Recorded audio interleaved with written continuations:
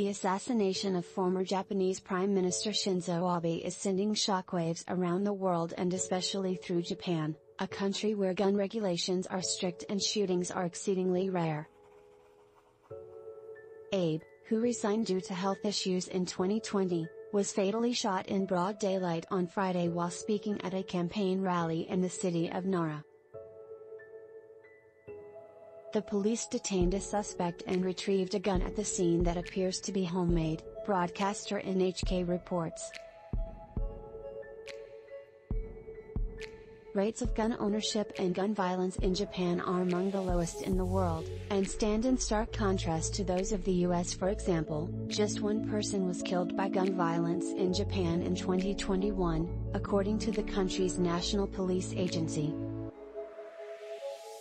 The Gun Violence Archive recorded 45,034 U.S. firearm deaths that same year.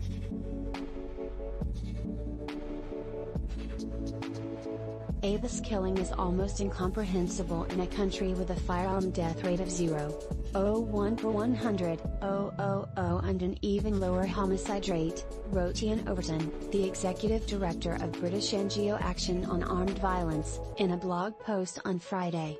With its long tradition of gun control measures, and Japan was the first nation in the world to impose gun laws, according to Overton. He traces those back to a 1588 measure banning civilians from owning swords and firearms.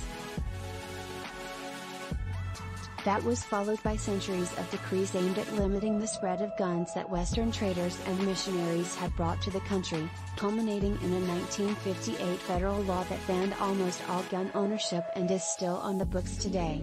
The weapons law begins by stating no one shall possess Kopel, a constitutional law professor at Denver University Sturm College of Law and adjunct scholar at the libertarian-leaning Cato Institute, described Japan's gun control measures the most stringent in the democratic world. Japan prohibits private citizens from owning handguns, and only allows Lee. A person must be 18 to own a firearm, though there are exceptions for gun athletes over the age of 14. The law prohibits people from possessing a gun if they have declared bankruptcy.